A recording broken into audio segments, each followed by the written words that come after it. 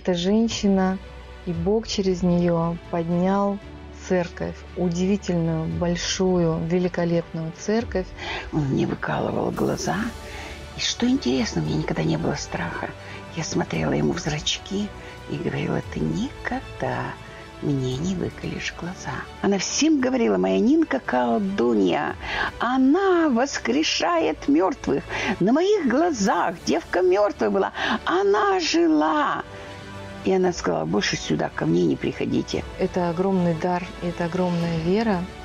И это как раз тоже часть наследия вашим духовным детям, вашим потомкам.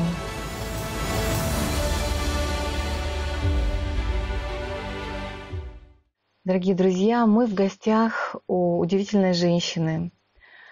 Я помню, как когда-то представил мне ее муж – Игорь Никитин, он сказал, я тебя сейчас познакомлю с женщиной, которая выглядит как, а, как сельская учительница. И ты не представляешь, эта женщина, и Бог через нее поднял церковь, удивительную, большую, великолепную церковь в городе Ижевск. Церковь называется «Вера, действующая любовью». И мы сейчас в гостях у Нины Михайловны Сусловой. И я хочу, чтобы в этой программе Нина Михайловна поделилась историей своего жизненного пути. Когда-то Давид сказал в псалмах, «Ты извлек меня из рва, из тенистого болота душу мою». И жизнь очень многих людей похожа на заключение в таком тенистом рве в болоте, а, которое затягивает, из которого не видно выхода. А, люди и не знают даже, что какая-то есть другая жизнь. Когда я общалась с вами, Нина Михайловна, а, мне очень захотелось, чтобы, чтобы люди узнали вас не только как служителя, пастыря, женщину, похожую на учительницу, но ту, которую Бог извлек из прежней жизни, из той семьи, в которой выросли, из тех обстоятельств, условий. А, Бог видел вас, безусловно, каждый ваш день и был с вами, но вы не знали Его, и ваша семья не знала Его, поэтому вы жили по своим помыслам, которые были вам открыты. И мы э, увидим сейчас, я надеюсь, вот в вашем пути, в вашей этой истории, которая очень-очень непростая. Что это был за путь? Здравствуйте. Это для меня э, великий экзамен, чтобы рассказать все, что я жила. Я вышла из такой семьи. Да, дедуля у нас очень был зажиточный. У нас было много лошадей, два дома, зимний и летний дом. У нас было много погреб был, вы знаете, много-много метров под землей, и там он был выложен весь льдом, mm-hmm. что у нас там туши мяса висели, ведрами стояла сметана, ну и прочие продукты угу. питания, да. И я вот выросла в такой семье, но в этой семье было всего в избытке, но не было мира, не было взаимопонимания. Очень избивал дед бабушку. И я, когда была маленькая, я говорила, ой, дедушка, я вырасту, я тебя буду бить, бить, бить, пока не умрешь. Ух Понимаешь? Ты. Это вы в пять лет ему говорили? Да такое? какой в пять? Там в два, в три года я очень рано начала говорить. Я так ему лепетала. Я ему так это говорила. А им было всем смешно. У деда было четыре сына, да? Да, четыре сына и э, моя крестная, Мария ее звали. Дочь, да? Да, дочь. и их дочь. Угу. И там такие были очень напряженные все взаимоотношения. И я жила в состоянии постоянной войны. Мне надо было защищать бабушку. Мне надо было защищать маму, когда на нее нападали, да? А мама была э, женой одного из сыновей, да? Да, старшего да. сына Михаила. Угу. И я такая маленькая, я ругалась со всеми ими. Я помню, как я укусила деда э, за руку, чтобы он не поднимал руку на бабушку. И я прямо вырвала этот клок мяса вот из руки, да? И он так обозлился и стал меня бить. И бабушка меня взяла под себя и залезла под кровать. Так он разобрал эту кровать, чтобы бить и топтать бабушку. Он ее бил так, что на ней даже курочки некуда было клюнуть. И вот я в такой обстановке выросла, Э, постоянной боевой готовности, постоянно кого-то защищать. И когда меня мальчишки там обзывали, да, тень, тень, потетень выше города плетень, или тень шань меня А почему? обзывали. почему А потому что фамилия Тенсины были, А, Тенсины, мгм. да. И я всегда приходила и говорила, бабушка, меня обзывают, мальчишки. Она брала жерть, и я шла за ней с какой-нибудь вичкой, и мальчишек, а они за изгородь спрячутся, и она их вот так по рукам, вот этой жердью, что не Вот бей, не трогайте. тоже боевая. Вот Да. кого. Да, бабушка, она по морозу босиком ходила, она там валенки кидала, там, ну, как кого-то поверье же было через, э, не знаю, Плетень, через да? ворота, да. Вот. И вы понимаете, я, видно, впитала вот этот характер э, боевой бабушки. После этого у нас родилась Людочка. А, И вот двухмесячный ребенок, и я пятилетняя девочка, я с ней водилась по 8 часов в день. Мама меня закрывала, мы снимали полуподвальное помещение, мимо окон проходили люди, я видела только сапоги, а больше ничего не видела. Вот, я вот по столько часов сидела, мама прибегала на обед, тогда ведь были гудки, по гудку Мгм. прибегала, Мгм. вот, э, луковицу в рот, хлеб, соль, э, кормит а, э, это самое Мгм. грудью Малышку? Людмилочку, Мгм. да. Я хоть что там ешь? Ну нет, так нет. То есть обо мне То никогда жили не- уже впроголодь, получается, да? я никогда... Я не помню, когда я вообще сытая была в детстве и в юности. И я настолько это перенесла, даже когда уже стала пастором. Я от пасторства отбивалась 7 лет. Я 7 лет поднимала руки и говорила, Господь, одумайся, у тебя что, мужики на Руси перевелись, что ли? Что ты меня поставила такую заморашку, всю растоптанную, да? Вообще не собранную, такую вот вообще непонятно что. Да какой я пастор? Вы представляете? И я даже зарплату не получала. Всем раздам, а сама на баню брала, на веник и на билет. Потому что у вас это была привычка Да. с детства, когда на вас Да. экономили, чтобы работать на семью и, в общем-то, все вкладывать Мгм, только, только всё в семью с вкладывать. лет. И даже когда у нас один бухгалтер ушла в декрет, другая пришла, и она сказала, Нина Михайловна, вы что, вообще зарплаты не получали? А как вы жили? Я говорю, так мы же питались в, это, в, нашей, в нашей трапезной, да? Мгм. Ну вот так вот я вот что-то там вот перекушу, когда-то не перекушу, и я привыкла так жить. Вот такое вот к самой себе отношение. Я долго молилась и говорила, дорогой Господь, научи меня любить так, чтоб я любила ближнего своего, как самого себя. Я люблю ближних, ты это знаешь, ты мне даешь любовь. Я каждый день молюсь всеми молитвами любви и говорю, Господь, Твое слово подобно огню. Вот этим огненным словом наполняй меня, чтоб я любила людей. Не перестаю Тебе молиться. Э, Наполняй и переполняй мое сердце любовью друг к другу и ко всем. Совершенной любовью, которая изгоняет страх. Потом я преклоняла колени, чтобы Бог наполнял меня. Укорененная была у меня любовь. То есть я всеми видами любви молилась неистово, по многу раз, с таким наслаждением. И я потом, когда поднималась с колен, у меня ноги сами по, по себе танцевали. То есть я наполнялась радостью. И я жила только за счет, и пастором была за счет того, что я любила. Я любила, но эта любовь не приходила ко мне вот просто так, сама собой. Потому что ей неоткуда было взяться. Да. Детство было таким, что Да. там не было Я особой любви. постоянно просила, чтобы он меня наполнял любовью. Это сколько лет было церкви к тому моменту? Это тогда годиков уже нам три было. Три годика. Да. Э, И вам пришлось учиться взрослой женщине э, получать любовь, выражать любовь, потому что в детстве вы переживали побои. Ваш отец, получается, по отношению к своей жене стал вести себя так же, как дед поступал по отношению к бабушке, Да. как его отец поступал к матери. Он точно так же бил свою жену жестоко и бил своих детей. Он э, избивал вас, и ваша жизнь вот в этом отчим доме, она была насилием и трудом, где вы не ели досыта. И сколько лет вы вышли замуж, чтобы убежать из отчего дома? Этого? 18 лет. 18 лет. Да, я ушла только потому, по одной причине, что мне уйти из дома. Я потому что других выходов не видела. И меня бил отец о стенку головой. У меня даже сзади череп. Э, там как не, не так, как у всех, да. Сейчас там Форма у меня как другая. лесенка. Будто угу. бы вот тут вот у меня на затылке, да. Он мне выкалывал глаза. И что интересно, у меня никогда не было страха.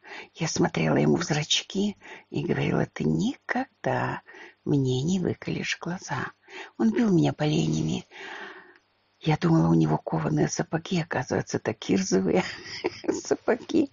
Он пинал меня, топтал, он маму когда бил, и мама ходила с фонарями, как говорили, да, и соседи Синяками, всегда смари, смеялись и говорили, вот опять у тебя мать с фонарями ходит, да, и мне было где-то лет 12, и я маленькая была, очень худенькая, да, мама все меня била, колотила в бане и говорила, у тебя стиральная доска, а не ребра. ну, одни ребра торчали. Mm-hmm. И я встала на сумку и говорю, тетенька, а, библиотекарша, дайте мне, пожалуйста, книги, а, которые бы я маму могла научить, чтобы она давала сдачу отцу моему, потому что он ее бьет, сколько можно. И она мне что-то дала. И я там прочитала, что только трусы бьют женщин. И я маме стала внушать.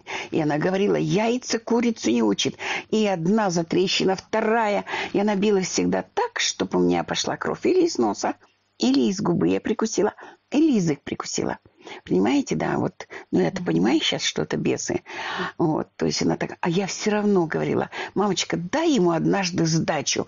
И зачитывала из этой книги, что я там зачитывала, я не помню. Только я вот помню, что ну, трусы бьют женщин. Трусы Ой, слушайте, люди, только трусы бьют женщин, только трусы поднимают руки на женщин. И однажды у нас каким-то чудом в доме оказался ковш чугунный, который был в бане. И он там опять и на ее, и видно, у нее уже, ну ведь это же слово-то работает. Mm-hmm. Она взяла этот ковш и по башке ему. И он говорил, Вальчика, все, все, все, я тебя не трогаю. Вальчика, да. И он три недели ходил вот так на Расшамагу, угу. потому что там ему было все больно, да. А мама три недели ночевала то у одних соседей, то у других. А мы все шестерка, шестеро детей стояли на шухере. Э, там другой один, что папа идет, мама, беги. И она по огородам куда-то там бежала, с кем-то там договаривалась, у кого будет ночевать. И папа уходил, она приходила снова, варила, стирала, убирала.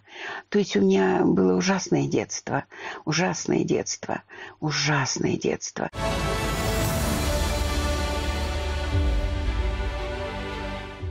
Восемнадцать лет вы вышли замуж. Да. Расскажите немного о вашем муже.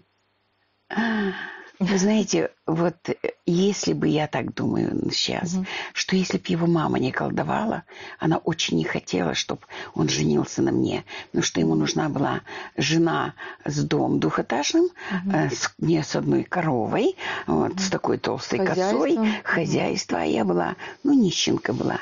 Мы жили в маленьком крохотном домике, вот, и она это я тоже узнала, когда... Потом уже, да? Да, что соседка пришла, и она, видно, делала самогон, и она и ей не давала этот самогон при мне. Угу. Запах же. Свекровь. Да. Да, свекровь.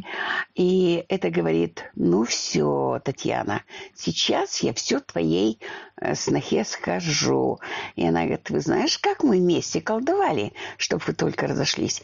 Так он был хороший человек, добрый, отзывчивый, покладистый, да, умел все делать, но он, когда от родителей приезжал, он по три недели сидел, включит телевизор, сидит, не подходи ко мне, иначе ударю. Я говорю, так, Люня, ты лучше ударь, чем ты обещаешь. Что mm случилось? mm Я-то не понимала, я ни во что же не верила. mm Не, не, не. Вы же были воспитанница советской системы, да? Да. Вы же воспитаны я ни комсомолкой. во что не верила. Даже когда мне говорили, что есть Бог, я говорила, а если тебя под расстрел поставят, э, ну и сказать, вот поверь в Бога, да? Ведь дети останутся сиротами. И я бы сказала, мир не без добрых людей, убиваете меня, я ни за что не не поверю в Бога. То есть вот такая я была безбожница. Но у меня было одно «но». Я, видно, видела, как мама моя бабушка в детстве, она молилась. И я постоянно хотела молиться. Я чувствовала внутри себя тягу к молитве. Я не знала, как молиться. Я не знала, как молиться. И потом каким... То есть умом, как бы внешне вы отрицали да, Бога. Да. А в сердце а хотелось внутри молиться. хотела кому, чему молиться. Я смотрела на небо и думала, где же там это Бог-то живет? Понимаете? Я хотела быть летчиком, чтобы поближе к Богу, как-то мне его найти надо было, во что бы то ни стало, да. И И он- я нашла удивительным образом Бога. Мы были в Одессе, у меня был слепой сын, атрофия зрительных нервов, нестагм глаз и вот такое вот косоглазие. Это было что-то жуткое. И я плакала, не переставая, пока мы к Богу не пришли. У вас было Каждый двое, день. двое детей, да? Да, То есть да. старший сын Да, и Вот потом доченька и Оксана. дочка. Оксана. Она родилась, э, как это, дырка в сердце, там еще что-то, там еще что-то. Порог сердца, да. Да. И... Я с ней вот только из окна вот так вот разговаривала. Она постоянно была в больнице. А если не в больнице, то я на саночках ее возила на контрольные. Или учительница к нам могла прийти. Потому что ну, когда мы на севере жили, там 40-50 градусов мороза. И поэтому учительница приходила с ней написать контрольную или диктант. Так что я первая Это все вот в учительница. этом регионе, да? Вот Это мы уже на север. Ижевска? вот, да, нет, уехали? вначале, да, мы были в Ижевске, а потом переехали а, Ханты-Мансийский округ, район, приравненный к условиям крайнего севе- севера. Тогда был это поселок Советский, сейчас это город Советский. Вот. И мне там очень нравилось. Мне там нравился белый снег, нравились морозы. Ну, вообще все почему-то нравилось. Мне вообще нравится стихия. Ураган, пурга, ветер, град, гром, молнии. И, а сейчас я, я тогда не знала, почему это все мне нравится. Я этого всего не боялась, да, как другие мои боялись. И я всегда говорила, вот я везде налево и направо проповедовала, особенно вот летом. И вот начинается там гром, дождь моментально, да. Я говорю, ну что вы сейчас скажете? Ну вы же не верите, что Бог есть. А это Бог. И цитирую места. Писания. Представляете? То есть моя жизнь такая была, что я была удивлена. Я говорю, тебе что, больше людей не нашлось поставить пастором? Ну что ты меня поставил? Мы еще Понимаете? дойдем до этого, но Ага. это здорово, что э, ваша отважная натура находила родство вот в этих сильных таких выражениях, действительно, стихии, Мгм. природы, которые проповедуют о Творце. Это правда. И многие люди, которые сталкиваются с мощью творения, с мощью природы, их охватывает религиозное чувство, потому что они понимают, что не они, э, боги этого мира, есть выше них силы и сила, и есть э, тот, кто сотворил этот мир. И а, это чувство, конечно, ввергает в трепет и пробуждает в людях вот этот трепет, который заставляет задуматься о Боге. Вы оказались а, в, пос... ну, в поселке Советский тогда, да? И с вами были маленькие дети, и они там жили, ну, Да, большую часть жизни, да? Да. И у сына было, значит, астигматизм, э, вот косоглазие, слабое ставим глаз, зрение. да. Это когда зрачки вот так вот бегают, бегают, бегают. И вообще я столько всего пережила. Я говорю, пока мы не пришли к Вере, я все плакала. Я как представлю его с тросточкой, в черных очках, с собакой, так я чуть в обмороке не падала. То есть это было Но для меня... будущего другого вы не видели, но Нет, я боль. искала. Я ездила к бабкам, к деткам, к экстрасенсам. Всю их взросление, Да, все их да. взросление. Ездила, вот э, мы жили в Москве 6 лет. Андрей ходил в специализированный глазной сад от института имени Гельмгольца. Там сама врач нас Вы устраивала. из Советского переехали ради детей в Но Москву? до, до, до. А, до потом, Советского? да. А, вот. И потом мы ездили м, э, в Одессу, э, в институт Филатова. Ему Мгм. там выписали телескопические очки. И врачи мне говорили, Нина Михайловна, вы сумасшедшая мама. Вы понимаете, атрофия, омертвление зрительного нерва чего вы хотите. Как вы хотите, чтобы он... Мы вас лечили. Да. Когда Ну вас вот умирает, представьте себе, у вас да. мертвый пальчик. Как его лечить? Вот как Да. его лечить? Вот вы понимаете, вы элементарных вещей не понимаете. А я вот, знаете, вот как-то интуитивно или как-то внутри, я верила, что он будет видеть. Я верила, что он будет видеть. Я верила, я верила.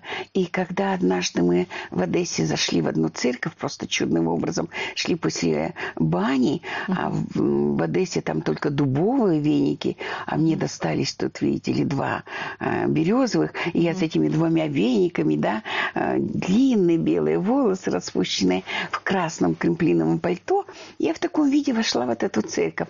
Я была удивлена на рушники, на дедулечки вот такими бородами, на всех людей, все вот так вот разглядывала. И вдруг около меня встала женщина и говорит, дочка, ты напрасно ездишь по всему Советскому Союзу, желая спасти своего сына. А тебе может помочь только Господь Иисус Христос.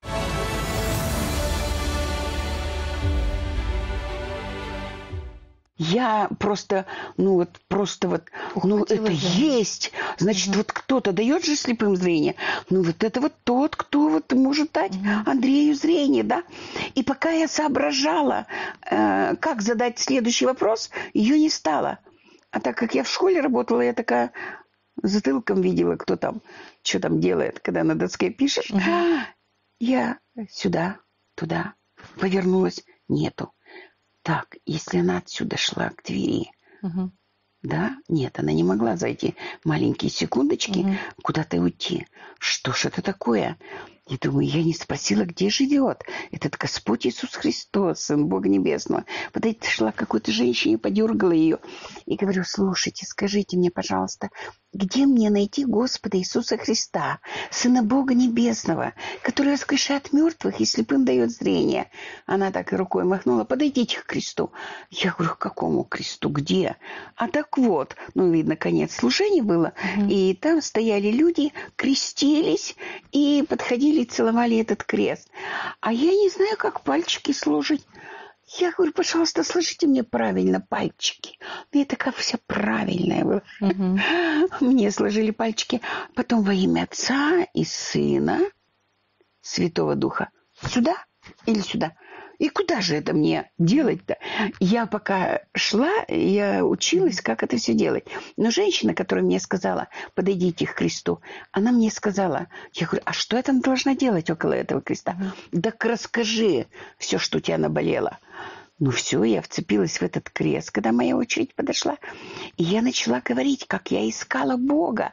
Летчиком хотела быть. Это вот по моим понятиям, это поиски Бога были, да? И я всегда хотела молиться. Я не знаю, Богу молится, не молится. Вообще, что делает? И я рассказала, какая у меня доченька больная, какой у меня сын, как я на мужа ни в чем не могу положиться.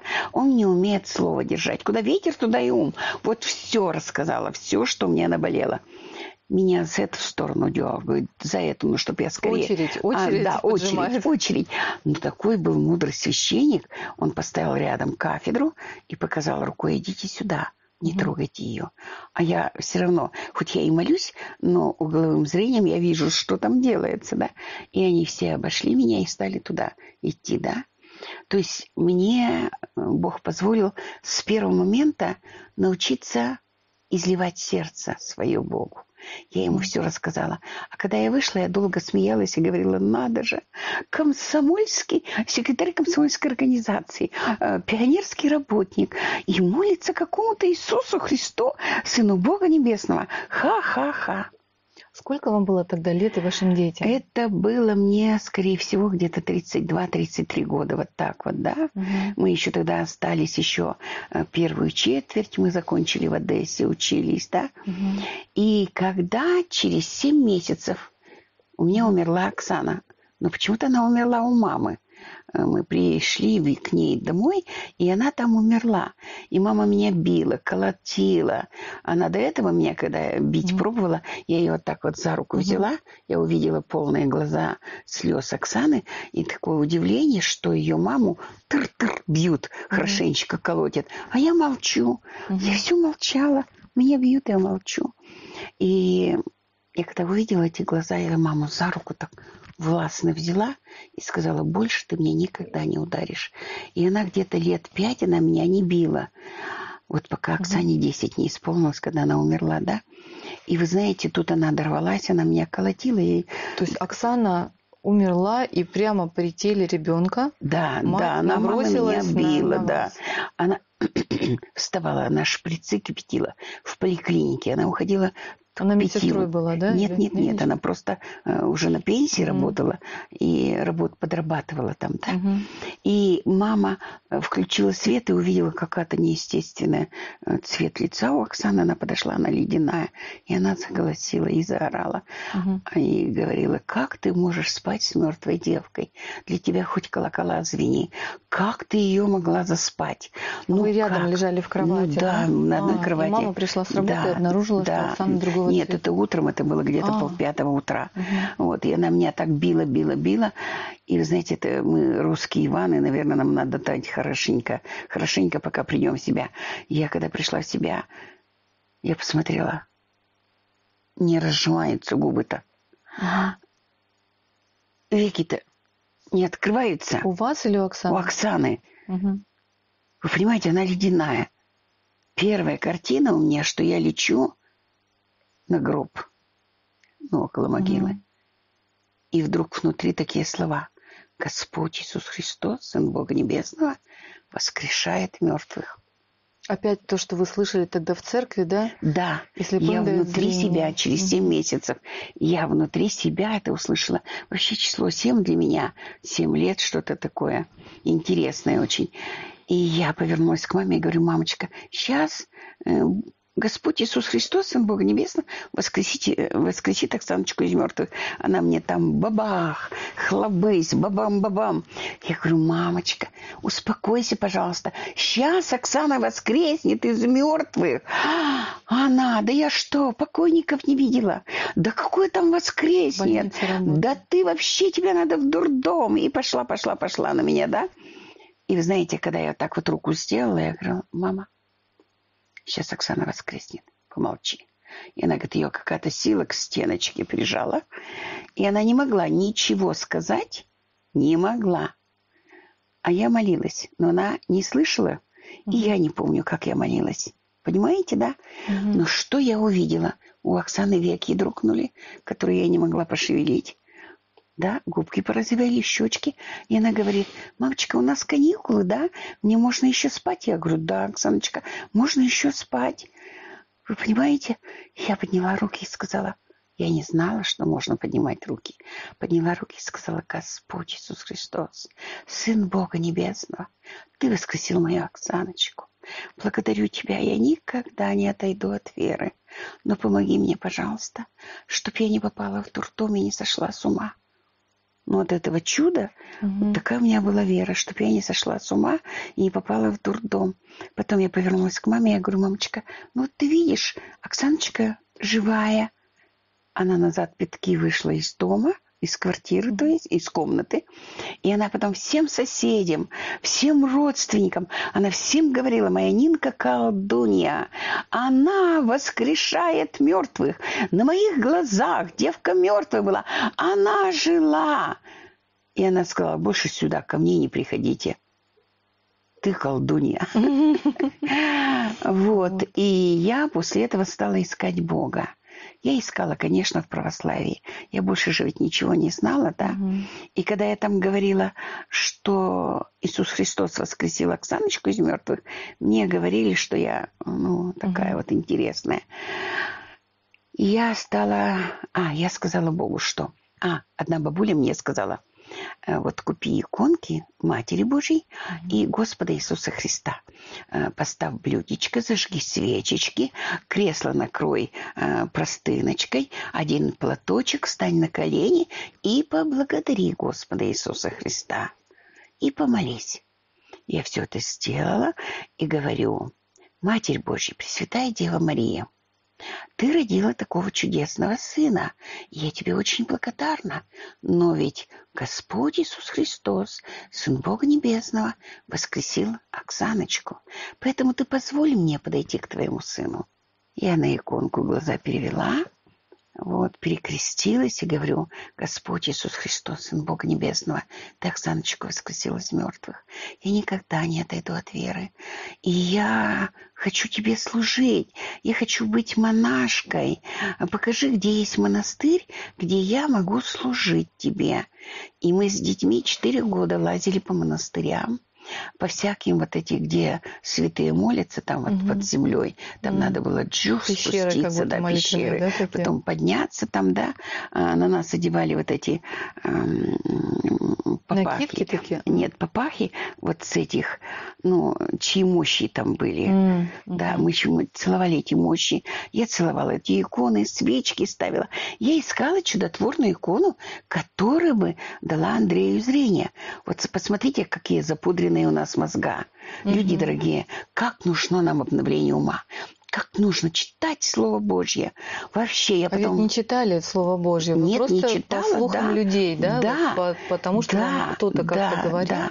И одна женщина мне сказала, «А, дочка, ты напрасно ездишь, а, значит, по монастырям и ищешь Бога. Бога надо искать в Слове. А я сказала, что такое Слово? Она говорит, Библия. И это мне так глубоко запало. И вот когда меня уже все врачи списали, мне пища не проходила, даже вода не проходила, кал не выходил, у меня было лицо сейчас, наверное, То есть у вас шесть кулачков. Вот, с 32 лет за эти четыре года просто стало ухудшаться да, катастрофически. Да, да. Лицо, так я же постоянно постилась. Mm. Я же постоянно постилась еще. Лицо с кулачок, живот вот такой, ножки вот такие. То есть я вся была ну, просто сухая. И когда меня привезли на операцию, уже боль была невыносимая, да, мне, я много упускаю, конечно, подробностей, и врач меня подсадила около себя, все анализы взяла. Она говорит, я вас положу, и я просто вас зарежу. Вы понимаете, да? Потому что у вас сердце не выдержит никакой. И у вас такие метастазы, они везде у вас по всему телу. То есть вам что? диагностировали непроходимость да. кишечника, да. А, рак, рак, рак кишечника. Полностью весь рак живота. С метастазами да, вот да. полость киши... живота да. всего. Да. И она сказала, Слабое что сердце. вам поможет только Бог.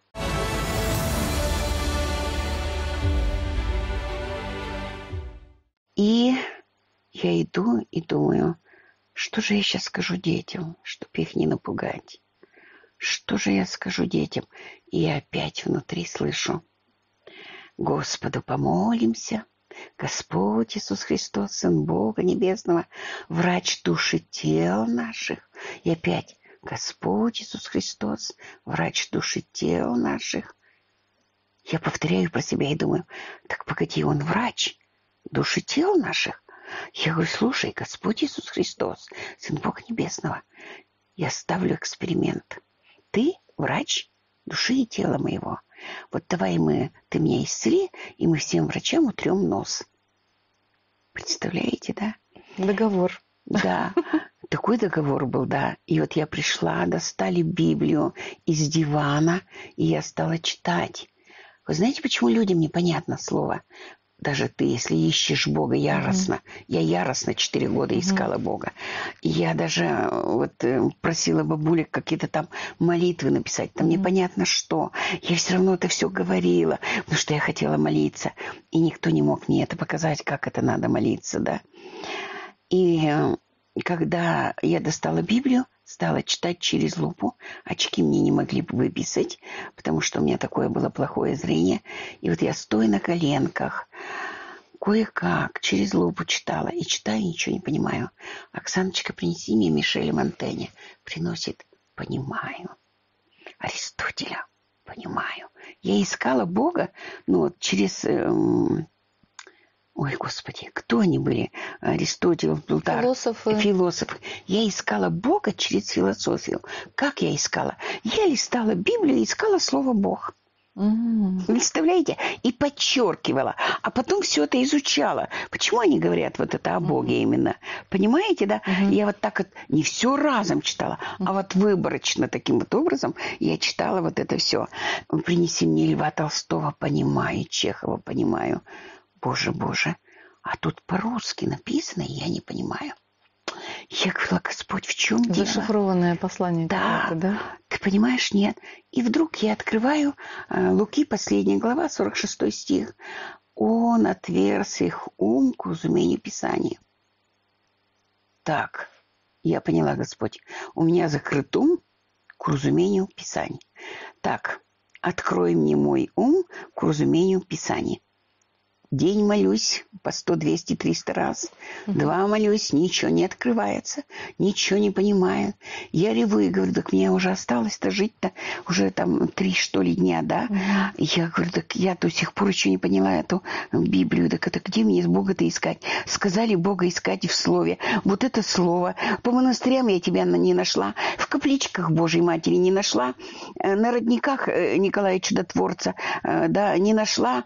Серафима Саровского. Но я нигде тебя не нашла. Я говорю, так а тут у меня ум не открываешь. Так ты что мне ум-то не открываешь? А я внутри опять себя слышу. Прочитай всю главу. Я говорю, слушай, Господь, ты такой интересный. Нет, ты такой интересный. Ты такой интересный. Как прочитай, когда у меня такие боли, и я читаю только через лупу. Мне очень тяжело. Ну, мне что, он молчит, ничего не говорит, а куда деваться? Я Он давай, не спорит. ага, я давай читать. И сколько я раз прочитала, я не могу сказать, но я все-таки прочитала несколько раз. И сказала, я поняла, Господь. М, Ты Открылся открыл ум? ум ученика. Мгм. Ты понимаешь, ты ученикам открыл. Пишу. А, Господу Иисусу Христу, Сыну Бога Небесного, отцу Славянины Михайловны, проживающей а, город Ижевск, улица Школьный, дом Заявление. 59А, да, э, заявление. Прошу принять меня в ученики и открыть мой ум к разумению Священного Писания.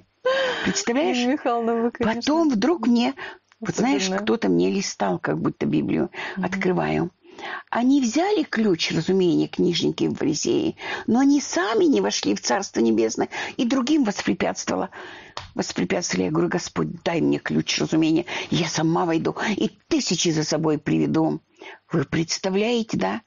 Потом раз Бог открывает к Ефесянам, и глаза на это падают. Бог Господа нашего Иисуса Христа, Отец славы, дай духа премудрости и откровения к познанию тебя. А, просвети очи сердца моего. А, у меня есть очи сердца. А что?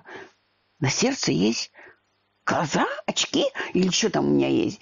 Понимаете, я каждое слово разбирала, вот так все мне было Вдумывалась, интересно. анализировала. Да, все анализировала. Но я стала молиться по 120 раз этой молитвой. И вы знаете, когда я таким образом молилась, я ведь не понимала еще, что я делаю, да? Мгм. Вы знаете, у меня боли-то отступали. Да, боли отступали. И я еще усиленнее начинала молиться. Потом Бог мне показал о любви и молитве. Молитвы я стала о любви. Любовь долго терпит. Вот это первая моя. Мгм. Не завидует, не превозносится, не гордится, не ищет всему. Вы знаете, это как на меня подействовало плохо? В каком плане? Стало хуже? Всему верит, все надеется. Я до сих пор это так глубоко вошло. Человек делает гадости, пакости, а я все верю. А я все надеюсь, что он изменится. Вы понимаете, да? А я продолжаю с ним говорить, а я продолжаю его наставлять, а я продолжаю за него молиться. То есть это какая-то вообще у меня перебор. Вот так. Любовь, любовь да. и все Но я ходила, блевала с кровью. Я ела какой-нибудь бульончик там рыбный там или что там, да. Или от супа, ну, через сито процеживали мне бульончик, да, и сухарик туда. И вот так я питалась. Мне тоже порой казалось, кому начинаю а, людям о Боге говорить, ай, да пошла ты со своим Богом. Моя мама говорила, вон пошла, свечку поставила, перекрестилась, вот тебе и Бог. Да. И поэтому я очень рада, что я знаю Бога. Бог знает меня. Мне нравится, что Бог знает все мои мысли. Он знает каждый мой шаг. Он знает э, мои мотивы сердца. Понимаете, да? И мне нечего от Него скрывать. И мне очень хорошо с Ним. Я засыпаю с Ним, просыпаюсь с Ним, говорю с Ним. И что знаю, я все это рассказываю своим в церкви. И последнее время я очень хот- хотела уйти на небо. Вот так я его умоляла Бога, так умоляла, так умоляла. И вы знаете, он в 118-м псалме уже три месяца меня, наверное, если не больше, держит на 118-м псалме. Читаю «Яви милость свою к рабе твоей Нине». Я буду жить и хранить Слово Твое. О, по милости Твоей оживляй Это меня, да. и я буду жить и хранить откровение уст твоих. И вот это все, что я буду жить. А эти слова, они как фары у меня загорались, что я буду жить.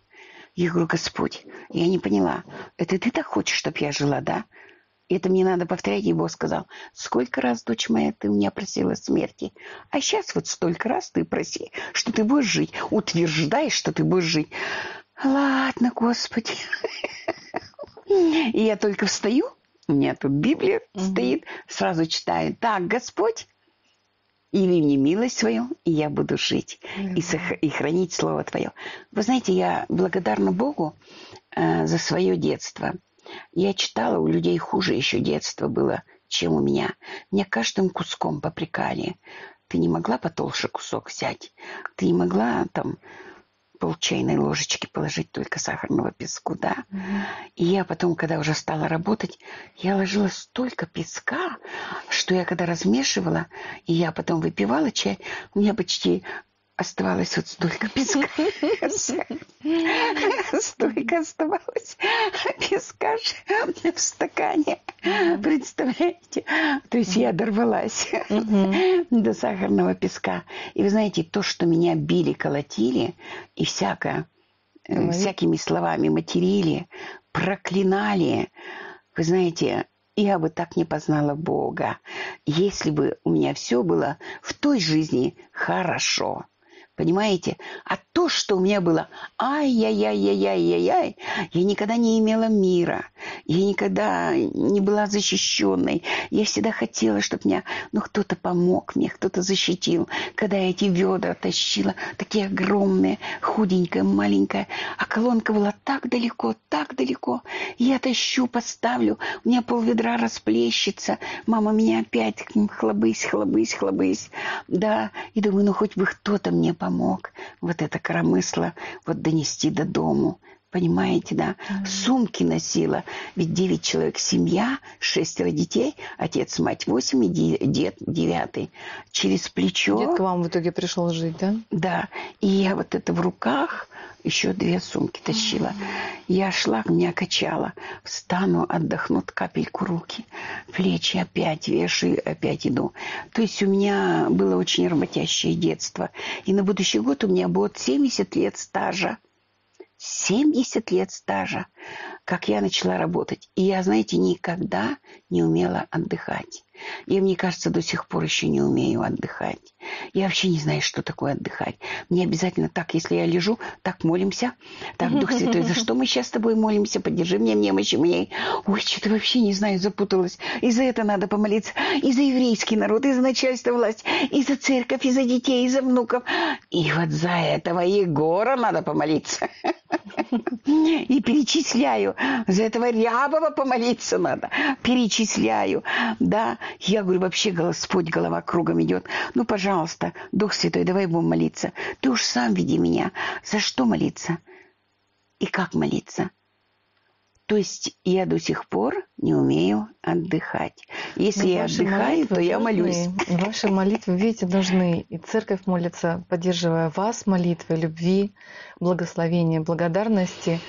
Но и ваша материнская молитва, пасторская молитва также формирует жизнь и будущее церкви. Я верю, что это чрезвычайно нужно церкви и людям на земле, чтобы это благословение было высвобождено, высвобождено через человека, знающего Бога, говорящего с Ним лицом к лицу. И э, ваше повествование э, остановилось сейчас, когда вы рассказывали, как шаг за шагом в молитве Бог вас проводил, и вы получали исцеление от рака кишечника, от непроходимости, Да, у меня даже, от знаете, сердца. в позвоночнике места не было, которого не болело. У меня все было в метастазах, все. То есть врачи вам сказали, что вы умрете сейчас на операционном столе. Осталось вам буквально, может, 10 недели, дней. 10 дней. И вместо того, чтобы поехать на скорой, вы поехали на, на, трамвайчике, на трамвае, чтобы а не там детей. вибрация, Виктория, знаешь, какая вибрация? И я пока Конечно. кусала губы, я кусала язык от боли, да, думала, сейчас я на этой остановке выйду и как-нибудь, как-нибудь до дома дойду. Я пока приходила в себя, открывала глаза, трамвай двигался. Так я доехала до дома. Представляете, да? Это была боль, и вообще я даже не представляю, как я это выжила. Я понятия не имею. Семь лет такое шло исцеление. Семь лет. Семь лет я грызла Библию. И я поняла, И вот и когда вот чуть-чуть становилось лучше, вы стали выходить вот на эту работу, да, вот такую сторож. да, когда я уже поднялась, я уже Это было ста- могла через ходить. лет пять или четыре? Нет, я не помню сколько. Я вообще, вот что Оксана, что я, мы не помним. Но что у нас Вот этот период Да, такой это тяжелый, была такая шок, такая вот встряска ужасная, вообще тяжеленная. И я ходила даже, мне было тяжело тащить вот маленький вот этот эм, термос вот с бульоном, да, сухарик и Библию. То есть так тяжело не было. было моментальным. Вы Нет, вгрызались в течение семи, семи лет.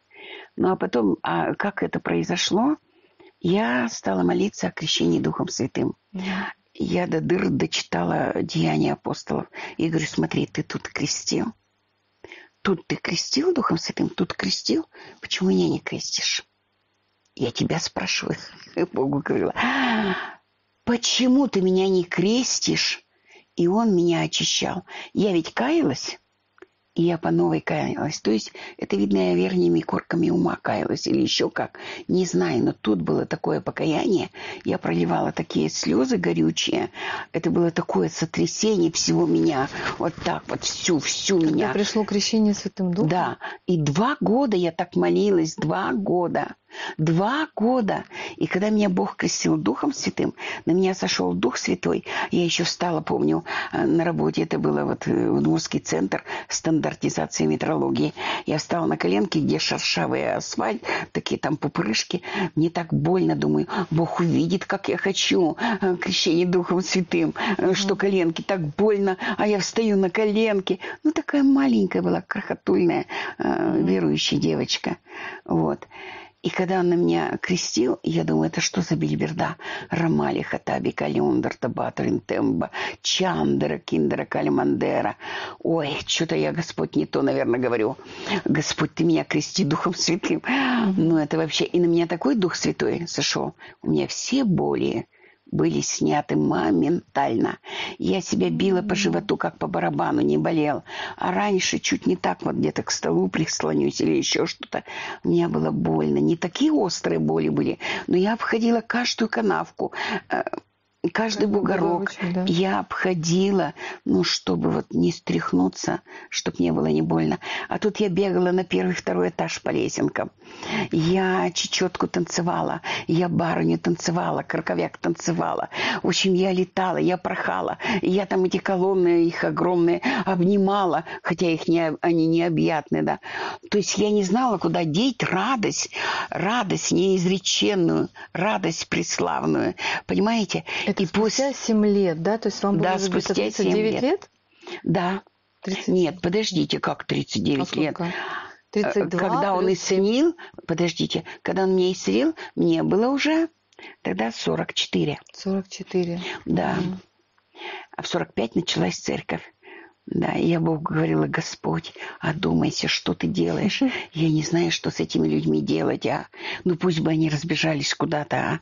Так это Как что они это начали, такое? как началась церковь? Вот расскажите. Ну вот я всем рассказываю, свидетельствую, они берут да исцеляются. А я говорю, слушай, Это после вот крещения Святым Духом да, началось да, движение, да? да. это всё? И я говорю, послушайте-ка, не надо мне тут заливать. Меня семь лет Бог исцелял. Как это Он вас сейчас исцелил? Что это вы за такие за особенные у меня? Ничего не знаю. Пусть врач идет и с картой. Ко мне приходили врачи и с картами и говорили, мы сами удивлены. Анализы прекрасные. Люди чувствуют себя замечательно. Какой вы силой обладаете? Я говорю, слушайте, спросите Бога. Я сама не знаю. Я ничего и не делаю. Я просто проповедую Слово Божье, а они берут да исцеляются. Угу. Для меня это было чудо, да.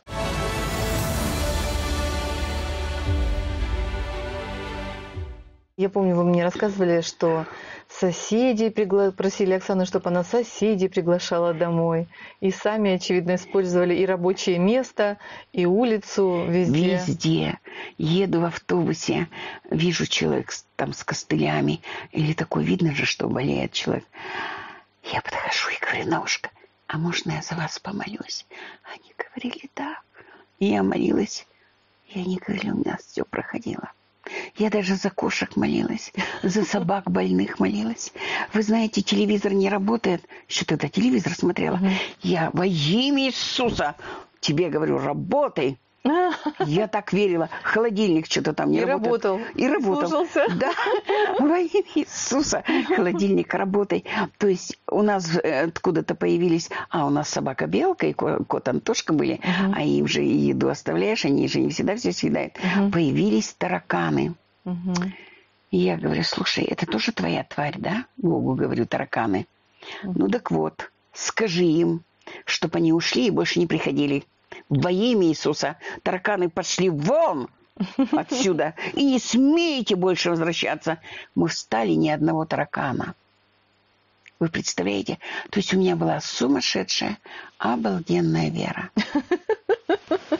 Я была самая счастливая. Вы знаете, я э, дома в прихожей попляшу, попляшу, потопаю, потопаю, Бога прославлю, в ладоши похлопаю, выхожу за дверь, дохожу до площадки, ну, с одной лесенки на, там, на другую, да, я снова потанцую, да, я шла, всем улыбалась, всех благословляла, радовалась но на меня сыпалось со всех сторон. Ваша, ваша личность очень сильная, действительно, не сломала вас эта жизнь, и вот это чувство справедливости и правды и доброта, что на самом деле божественное качество, качество свыше, качество от Бога, которое, образ Его творения, который отражался в вас.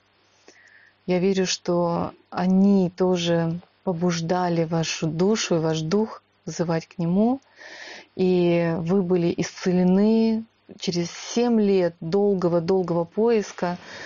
Началась церковь. Я хотела вас сейчас спросить, по-моему, вы ту Библию, которую вы достали, получили э, тоже сверхъестественным образом. Ой, я так много забыла уже. Да, спасибо, Виктория, что ты мне напомнила.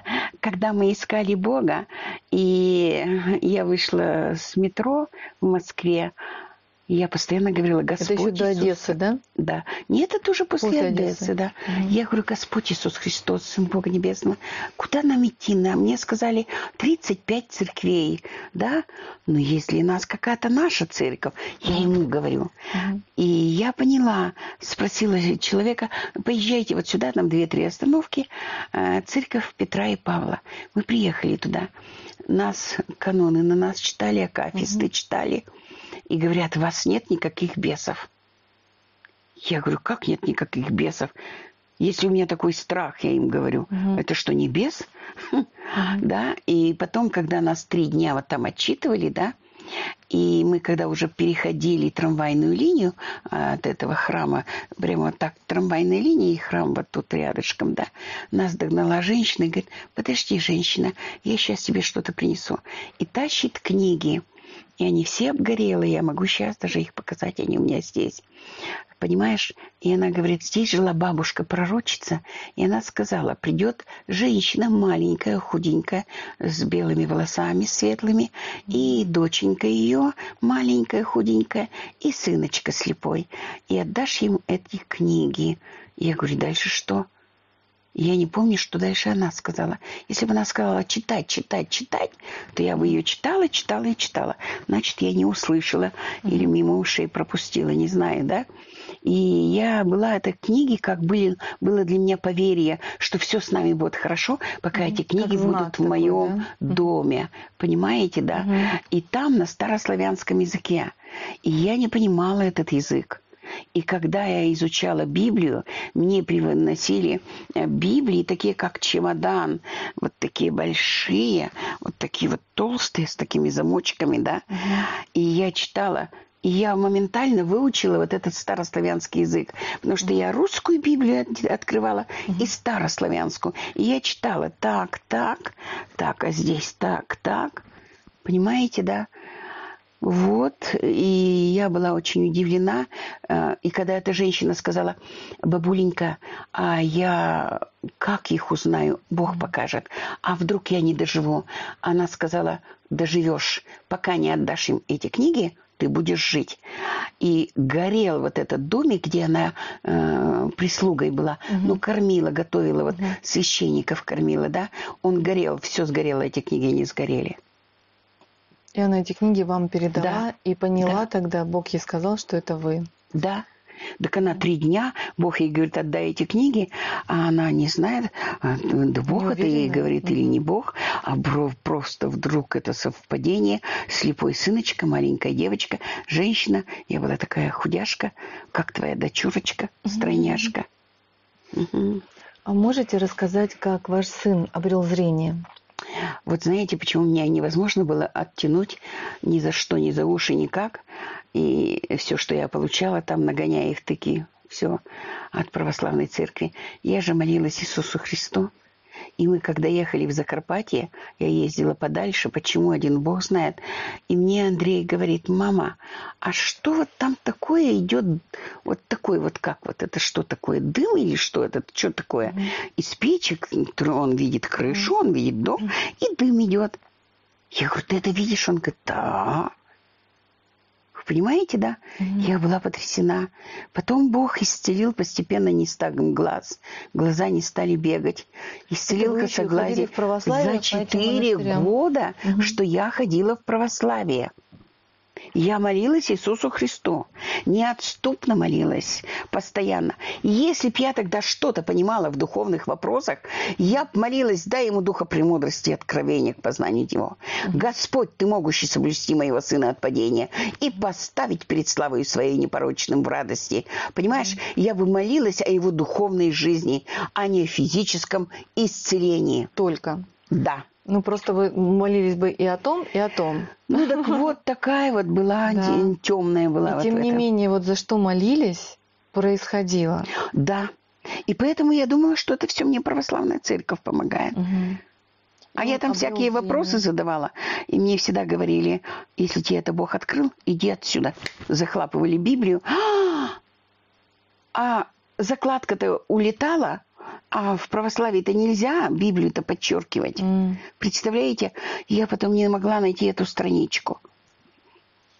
Но читали вот эти старославянские Библии, да, вот которые... И я говорила, почему мы это не делаем? То есть я приходила, как будто бы я какой-то э, контролирующий орган, да? Я говорила, почему мы это не делаем? Там написано, Мгм. проклят всяк, кто небрежно несет служение Господу. И если мы это не делаем, под проклятием вы. И мы с вами. И на меня там.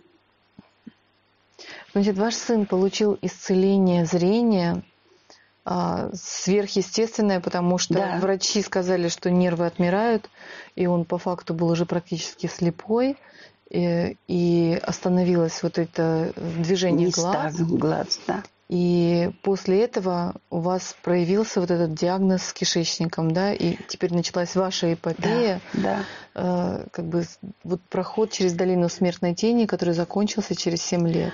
Меня что удивляет, вот посмотрите, Бог воскресил Оксану из мертвых, да?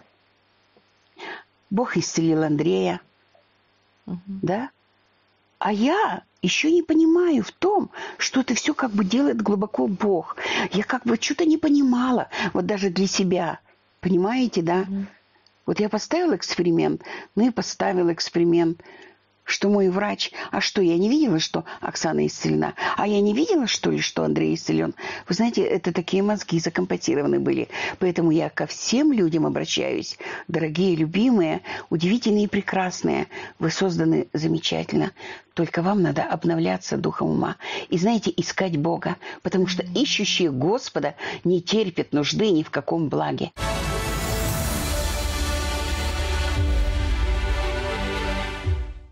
Как ко мне приходили?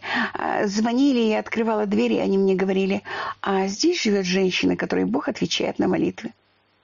Да, ко мне так привели мою невестку Люцию. Она три года провела в дурдоме. Эм, она, эм, о господи, мусульманка. И вот мама ее привела и оставила, и ушла. Вы знаете, я, конечно, очень удивлена, но она даже вот, ну, ни денег на питание не давала. Она считала, что я деньги не брала ни с кого. Uh-huh. Потому что даром получила, даром даю. Я так uh-huh. понимала, uh-huh. так читала в Библии, так действовала. Даром получила, даром отдаю. Вот.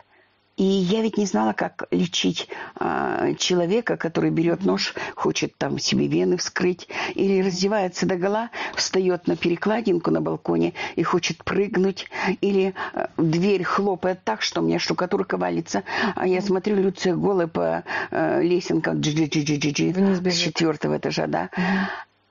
И я останавливалась и говорила, это было полное водительство Духа Святого.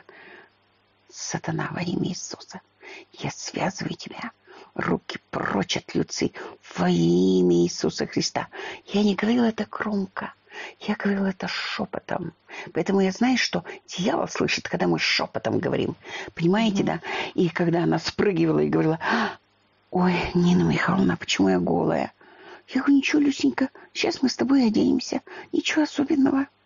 Даже по телефону я уходила в этот Удмурский центр угу. стандартизации метрологии дежурить, да, и каким-то образом, я не знаю как, или Оксана позвонила, но мама ее пришла.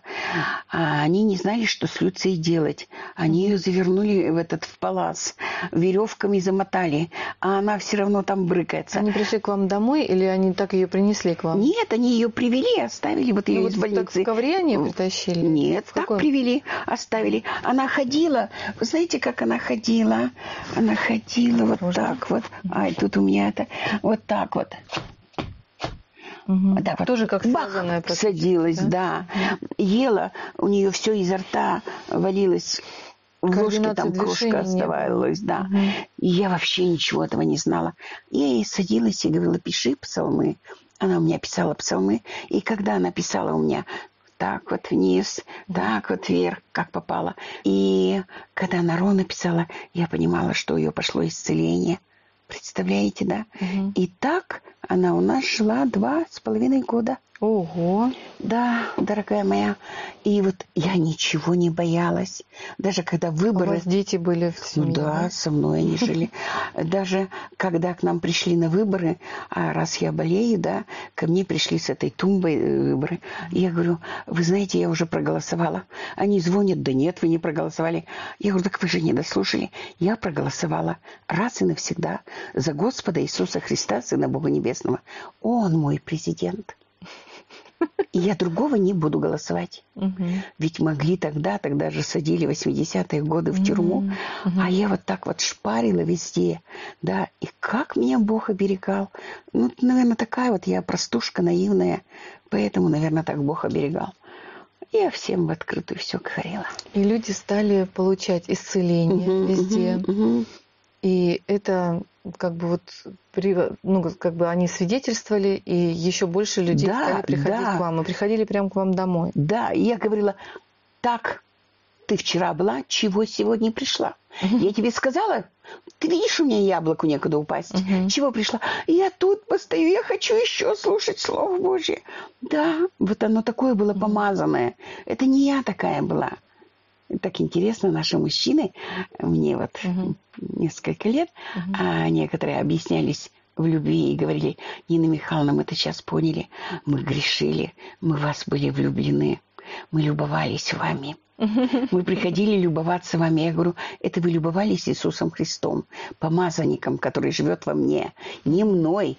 Просто вы не обновились духом ума и это не понимали. Так что все нормально. Я вас прощаю. Это хорошо, что я вам нравилась и что вы меня любили. Я вас прощаю за это. Ну, слава Богу. И как бы люди перестали помещаться у вас в квартире, Ой, и вам пришлось что? выйти Каждый за пределы. день, 7 дней в неделю, по 30-40 человек. Я каждый день по утрам, вечером не было сил, я все мыла, чистила, скоблила, убирала. Это было вообще. Двойная это нагрузка, было... вы же должны были и работать, да, ходить да, на работу. и работать. И когда мы начали арендовать, я работала сторожем, угу. охранником или кем я там работала, и э, массажом работала, чтобы заплатить за интеграл. У меня не было денег. И мне говорят, а вы что, не собираете деньги? Я говорю, как не собираем? Собираем. А на что вы собираете? Так на дни рождения. Ну, по ячейкам. Понимаешь, нет?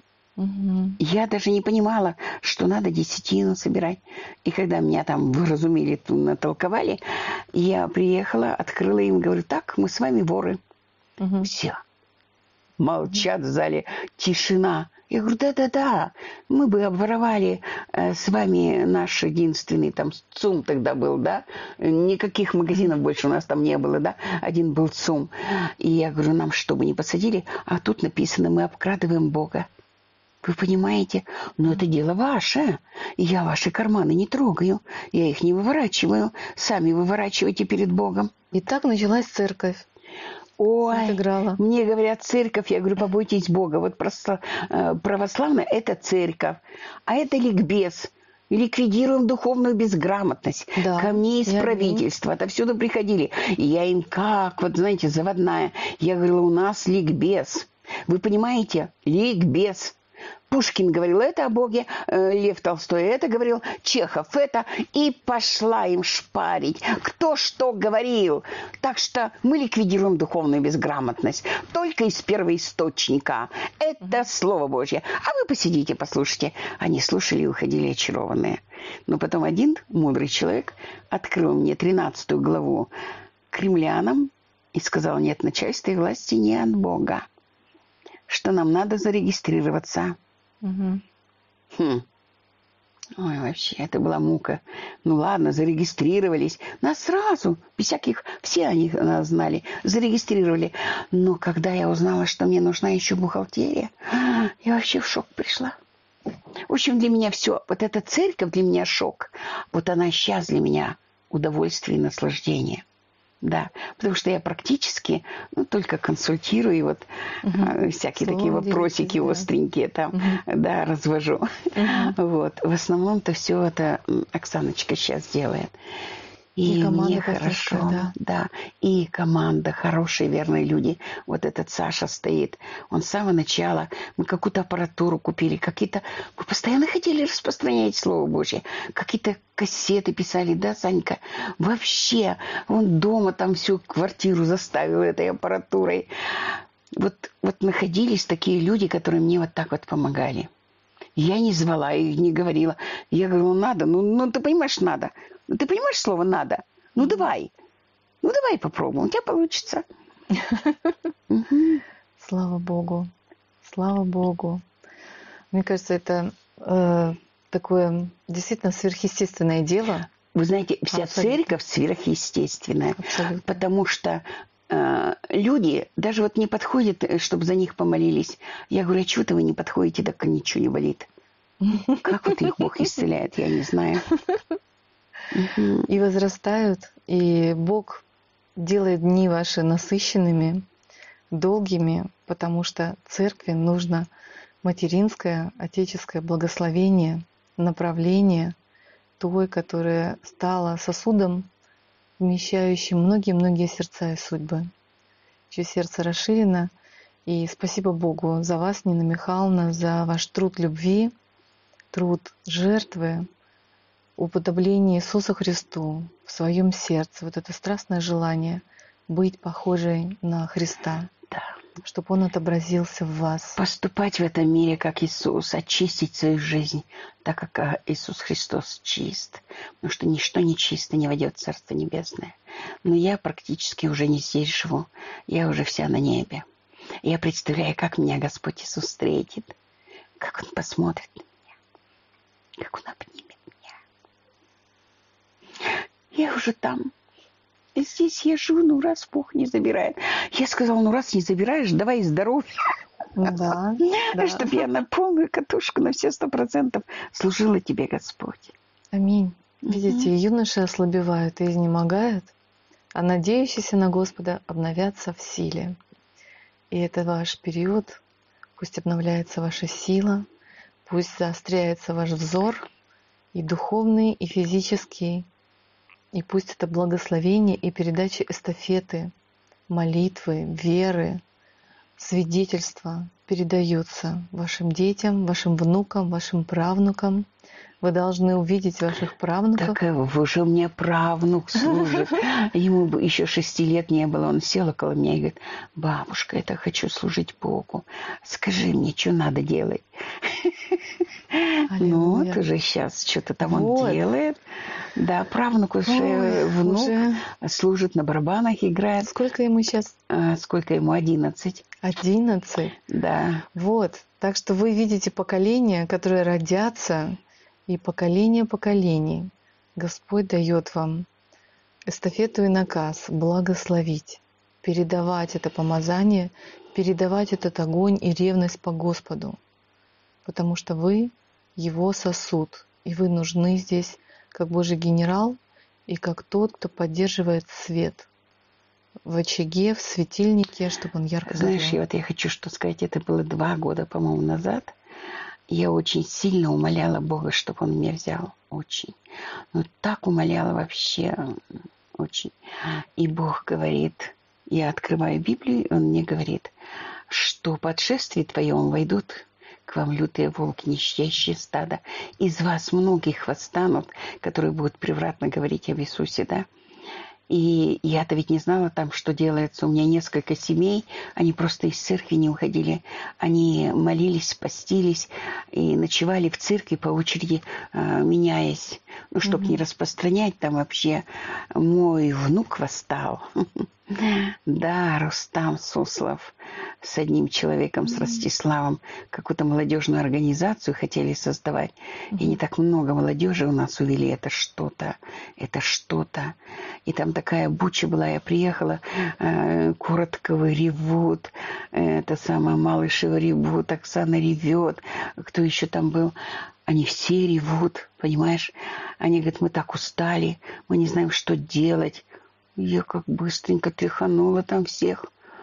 Своего внука уволила, убрала. Да, и как будто бы вот как корова языком слезнула. Все спокойно, хорошо, тихо стало. Понимаешь? Поэтому Бог сказал. Я-то думала, что я просто прочитала это. Но я поняла, что это ко мне относится. Думаю, да как это ко мне относится? И поэтому Бог сказал, дочь моя, пока церковь не готова, э, вот да да, к отшествию да, твоему. Да, да, да, потому что войдут лютые волки. Потому хочешь ты этого? Не да. хочешь. Они должны быть готовы. Они потерялись. Но слава Богу, что они молились. Слава Богу, что они молились. Они постились. Они связывали, завязывали. А дальше не знали, что делать. А я пришла, я не помню уже, что еще решение. там Бог мне сказал. Да, все, я приехала. Все, как будто бы ничего не было. Но много людей потеряли, молодежи.